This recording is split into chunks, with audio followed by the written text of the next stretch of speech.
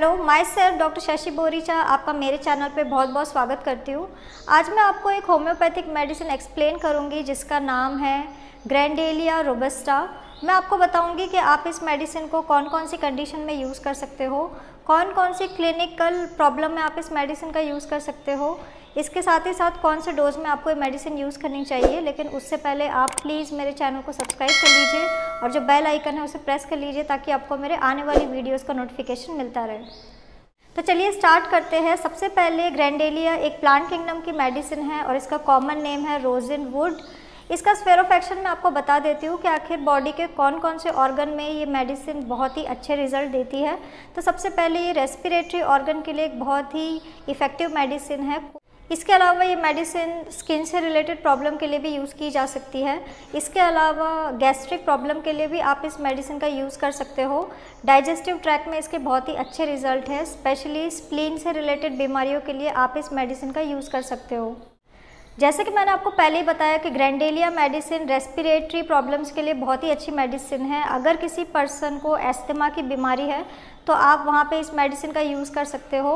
Asthma में देखा जाता है कि लोगों को बहुत ज़्यादा सफोकेशन फील होता है।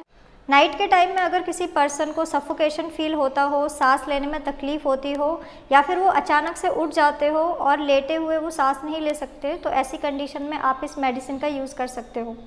इसके अलावा आप इस मेडिसिन का यूज़ ब्रोंकाइटिस जैसी कंडीशन में भी कर सकते हो। अगर एक्सेसिव म्यूकस फॉर्मेशन होने लग जाए, एक्सेसिव म्यूकस का सिक्रीशन होने लग जाए रेस्पिरेटरी ट्रैक में तो आप इस मेडिसिन का यूज़ कर सकते हो।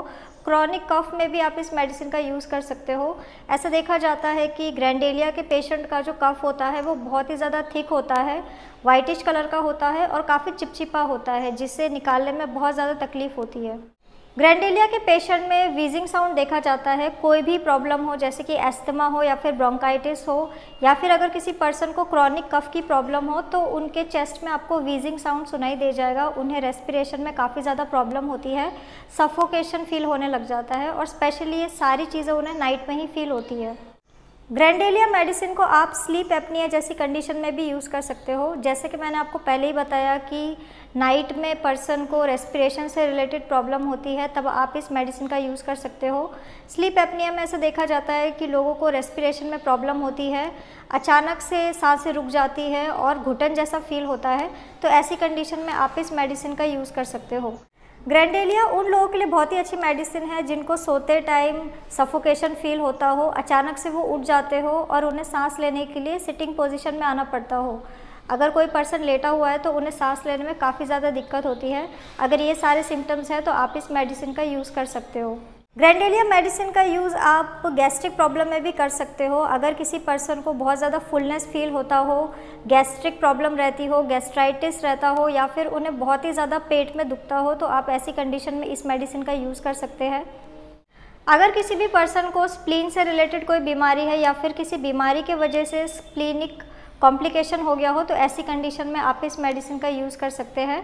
ऐसा देखा जाता है कि अगर स्प्लीन में स्वेलिंग हो जाए इन्फ्लामेशन हो जाए तो ऐसी कंडीशन के लिए ये मेडिसिन बहुत ही ज़्यादा इफ़ेक्टिव है। अगर किसी पर्सन को स्प्लिनिक प्रॉब्लम है, उन्हें स्प्लीन में इन्फेक्शन या फिर इन्फ्लामेशन हुआ है तो ऐसे लोगों में लेफ़्ट हाइपोकॉन्ड्रियम में पेन होने लग जाता है और कई बार ये पेन माइग्रेट होकर थाइज़ में भी चला जाता है।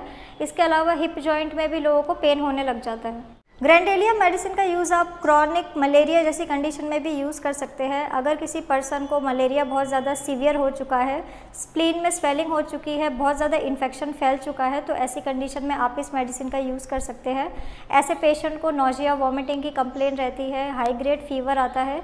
ऐसे लोगों में लेफ़्ट एब्डोमिनल एरिया में पेन होने लग जाता है और कई बार ये पेन माइग्रेट होकर हिप्स या फिर थाइस तक चला जाता है। ग्रैंडेलिया मेडिसिन को आप स्किन से रिलेटेड बीमारियों के लिए भी यूज़ कर सकते हैं। अगर किसी पर्सन को रैश की प्रॉब्लम है, उन्हें बार बार इचिंग फील होती हो बर्निंग सेंसेशन आते हो रैश में तो ऐसी कंडीशन में आप इस मेडिसिन का यूज़ कर सकते हैं।